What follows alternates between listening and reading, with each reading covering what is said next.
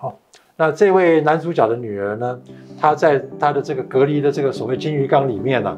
医疗器材都要靠电来支撑，所以呃，地震出现以后，就有一个场景是这个男主角的爸爸，他就花了很多力气想要去帮女儿她的医疗器材找到足够的电池，让她可以换电池，可以继续撑住她这个医疗器材的这个呃运作。这就让我想到，今年三月三号哈，不是有个大停电吗？那高雄就有一个案例很悲惨的，就是一个中风的病患躺在床上，那么他是靠某些医疗器材在维护。那么那次停电停的蛮久，好像停了十几个钟头嘛，啊，停了十几个钟头，结果他的医疗器材就支撑不下去，然后他这位病人的太太呢，就赶快想办法去。去找人帮忙，打电话打不通，结果自己跑到医院，找到医生，回到家里面，赶快要救助他的先生，结果他的先生已经回天乏术了。这个是今年三月三号大停电哈，一个非常让人心痛心碎的故事哈。这就讲到说，医疗器材都需要电，那么呃，在家里面其实有很多像就像我以前的的往生的爸爸或妈妈，其实在家里面也需要一些医疗器材，不管是。呃，就像氧气机等等啊，呃，所以这一位呃高雄不幸往生的民众哦，如果知道说可能有比较长时间停电的话，有没有什么应应的办法？这个我们像这样家里面有一个需要长期照护，甚至于需要一些医疗的设备啊，比如说制氧机的民众在家里面的时候。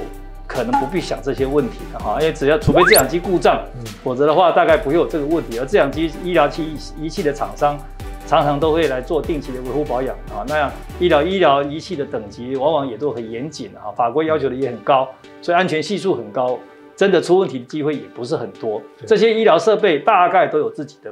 备用电池啊，所以它除了可以用。这个家里的插头从这边供电之外，他自己万一这个插头不小心被踢掉了啊，万一一个停电啊，这些医疗仪器，因为他为了注顾虑这个病人的安全，他通常都有他自己的备用电池啊。那短时间的停电对他来说应该是撑不了十几个钟头。对，大概但是撑个十分钟、十五分钟，大概就就就差不多了啊，最多一两个钟头吧啊，因为。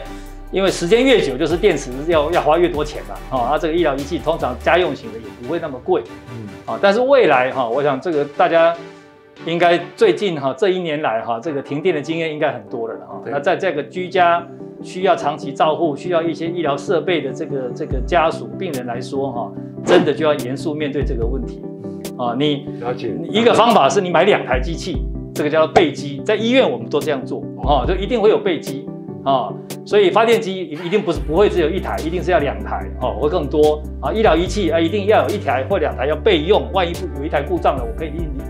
啊赶快换上去啊。比如说我们在开大房里面麻醉部哦，这个麻醉科我是麻醉科医师，这个麻醉机一定要有备用的，因为任何机器都有可能故障啊。故障那病人那那岂不是就完蛋了？不行，所以要立刻把它换上去啊。所以这个都是备用的概念。可是很明显的，如果是家人这个在家庭里面要买两台机器。那明明只要用一台，我干嘛买两台呢？因为怕停电，那这样就就就太太本钱塞去，对，说不过去，成本太高了啊。那第二个方法就是你可以准备 UPS，可是 UPS 如果要能够撑得久，也很贵啊。尤其是这个医疗仪器，如果功率大一点，那其实对也也不少钱啊。那那最后最后就没没办法了，只能祈祷最好不要停电。对，好但是呃这几这一年来，我想大家看到这个停电的次数实在太多了哈，大家。真的会有点担心呐，哈，真的会有点担心，但是又无计可施啊，所以可以，大家可以想象了哈，我我想这个能源哈，对于它不是只有不是只是开车了哈，只不是只是供电这个给手机充电而已，对于某一些人来说，它其实是生命，啊，这这个非常重要。对，其实大家如果真的上网去看，不断电系统 UPS 哈，大概。家庭用的是小台的，而且不是给医疗器材用的，是给你电脑用的。怕你桌机哈，嗯，呃，桌机不像笔电有电池，所以桌机一旦呃停电的话，桌机就死了嘛，哈。但是电脑用电其实不是很多，嗯，而且电脑用的 UPS 其实就是要让你说啊停电了，那这个 UPS 可以撑十分钟，你就井然有序的把做做到一半的事情给它收好，对，关机，不要说做到一半东西就没有了，是这个目的。不是让你撑两个钟头再再用哦，